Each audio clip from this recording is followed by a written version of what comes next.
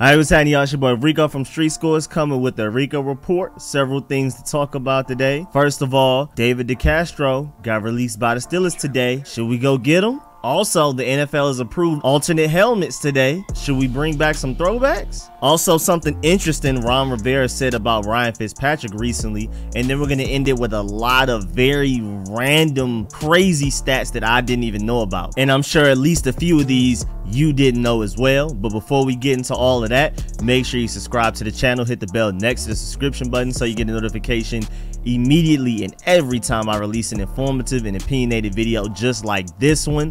Also, make sure you go check out the rest of the channel. All of my videos are organized in playlists. I even have a comedy playlist for all of my funny videos. So again, go check out the rest of the channel. Hit the bell next to the subscription button. Without further ado, man, let's get it.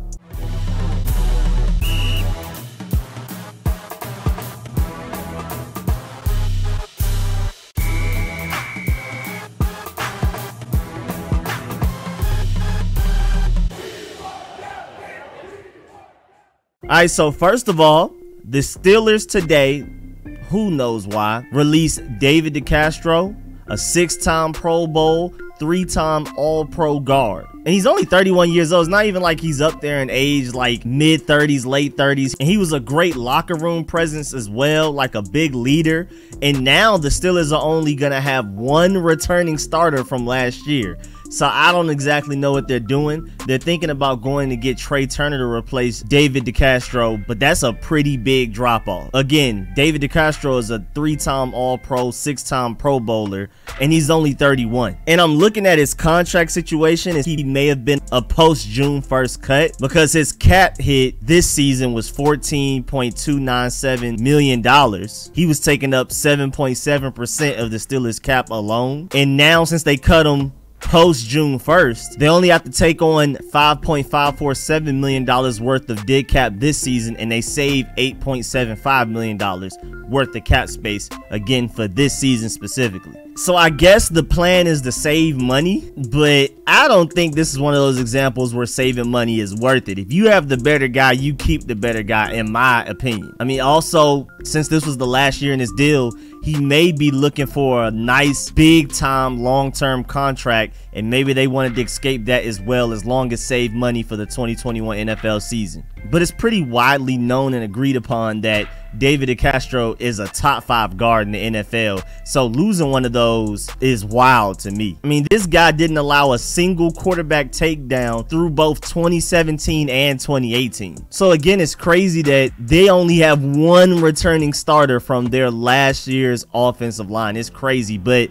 most importantly, as far as this video goes, should the Burgundy and Gold take a look at him? Because right now, you have Ereck Flowers or Wes Schweitzer starting at left guard, and I'm comfortable with either one starting because Ereck Flowers was the best thing on our offensive line that last year before he left because Trent Williams was holding out, Brandon Scherff was hurt, he was literally our best offensive lineman before he went to the Dolphins. Wes Schweitzer held it down at left guard. Huge surprise. Actually, a pretty good, pretty stable, nice starting level guard. And either one of them as a backup is great depth. That's excellent depth. And then, of course, you have Brandon Scherff on the other side, but is Brandon Scherff your long-term option? Then you also have Saahdiq Charles, who can play either guard spot, either tackle spot and even though he's been healthy so far this offseason, he couldn't catch a break last season. So Saahdiq Charles should never stop you from getting to David DeCastro. And I guess really the answer is how much money is he asking for? With him still getting paid from the Steelers even after they released him,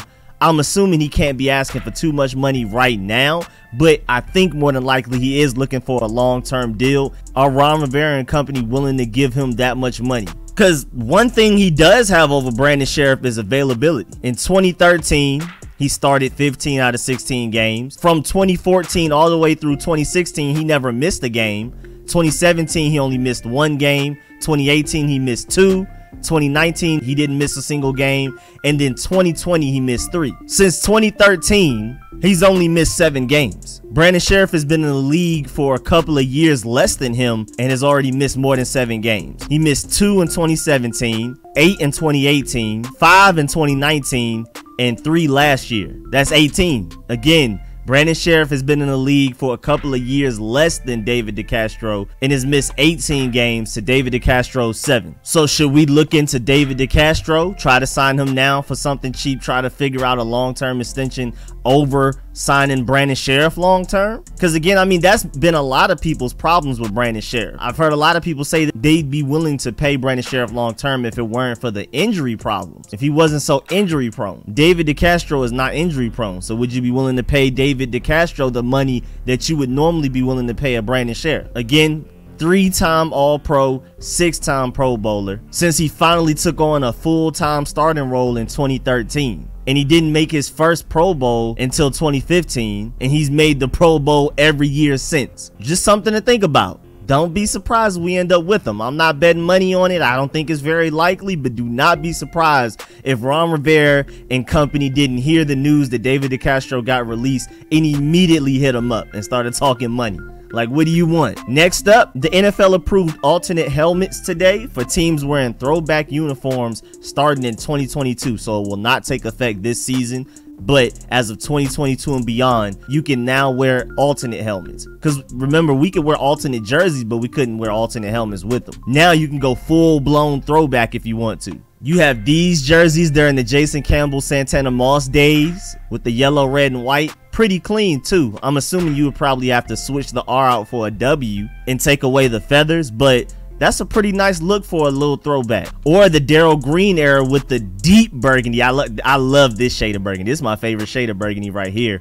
And again, instead of the spear, maybe you switch it with the W. And then you also even have the brown helmets with the deeper burgundy with some brownish, goldish lettering for the numbers. May be able to bring this one back as well. And I mean, I guess you just have to get rid of the logo on the shoulder probably replace it with a W. May even put a W on that brown helmet. But I feel like they would just keep it that authentic, straight up leather looking thing to recapture how it looked way back before we had like the real helmets, the modern helmets that we have now. So that's interesting to keep track of. We'll see. Maybe Ron Rivera and company, Jason Wright, maybe since he's the president, Maybe he has some say on it. It'd be interesting to see if we end up bringing back some throwbacks in the year 2022 and how they would adjust it to abide by the change of the name from Redskins to the Washington football team or whatever it may end up being by the time 2022 comes because we may not even be the Washington football team by the time 2022 comes. So we'll see. Next up, Ron Rivera said that there's no reason why Ryan Fitzpatrick can't be the guy for a while. And this is not like for a while this season this is like long term over the course of over a year.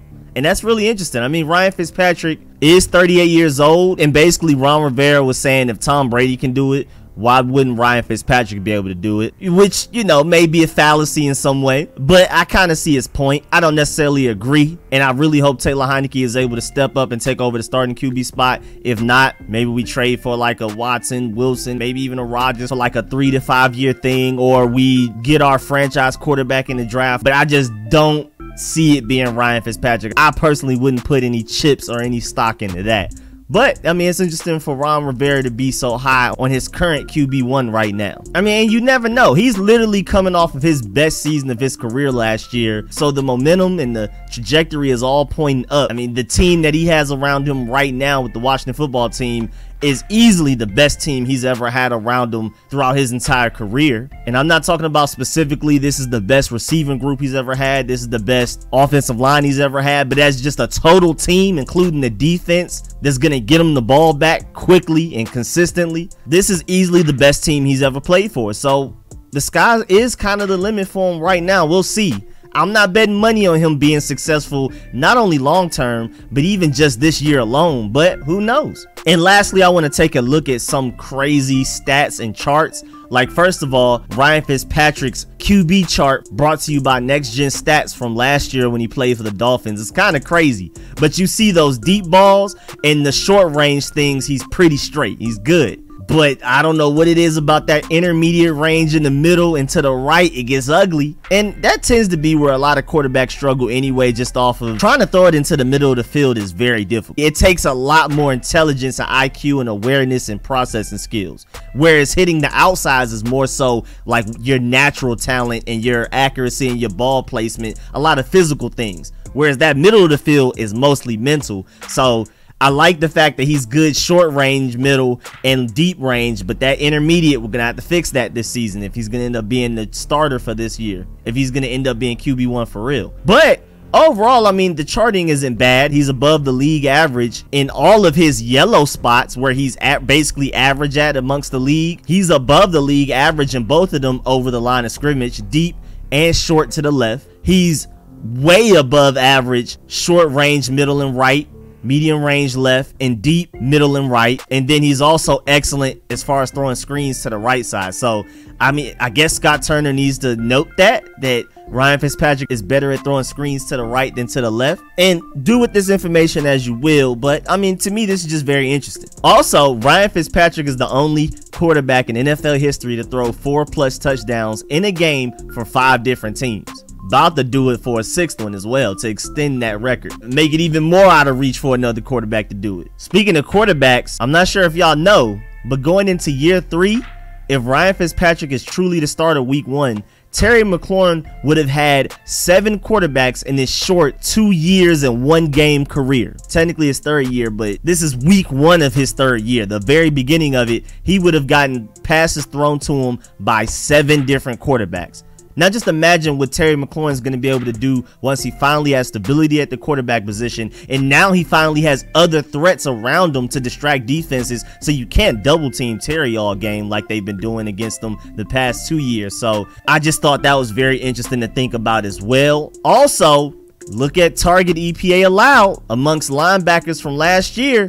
Cole Holcomb was third. So, I mean, you could argue Cole Holcomb is one of those top coverage linebackers. It doesn't necessarily look like it on tape to me either, but According to advanced statistics, Cole Holcomb is right there. Also, Jimmy Moreland as well for slot coverage success rate. And all of these stats also brought to you by Next Gen Stats. From last season, he had to play slot a minimum of 50% of his snaps, and he had to receive at least 50 targets he was third in the NFL in slot coverage success rate, which is really interesting. That that's something to keep track of. This is going to be a very competitive secondary in training camp, man. I'm telling you, because Jimmy Moreland is not one of the safest players on this team right now for making that 53 man roster. Also, something really interesting, looking at the most slash least improved third down offenses going from 2019 to 2020, we were the second most improved, only behind the Packers. The Packers improved 13%. We improved 11%, going from one of the worst to one of the best kind of in the middle last year. And I'm thinking that we're going to take another step forward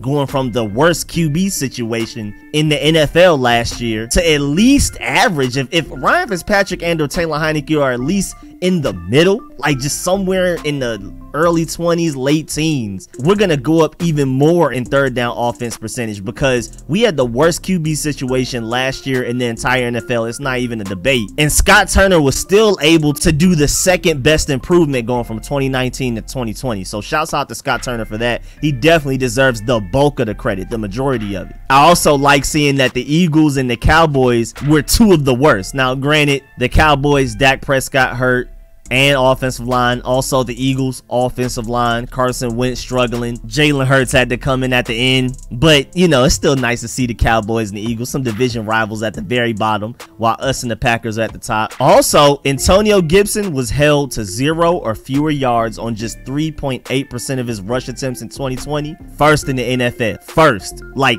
the best out of every running back. My boy Nick Chubb. Dalvin Cook, Derrick Henry. We're not talking about an amount, we're talking about a percentage. Antonio Gibson was the best. I mean, the sky's the limit here, man. I'm telling y'all, I think I'm telling you uh, that Christian McCaffrey 2.0. But yeah, man, that's the end of this video. Please get in the comment section and let me know how you feel about everything discussed in this video, especially the David DeCastro part, Ryan Fitzpatrick as a long-term quarterback possibility, and also, do you want the burgundy and gold to bring back some of those throwbacks? Are there any other throwbacks other than the three that I showed that you may be interested in us bringing back? And also all of the stats I discussed as well. Also, please like this video if you liked it, if you learned anything. I know you learned something, so you gotta like the video. I know you didn't know all of those stats right there.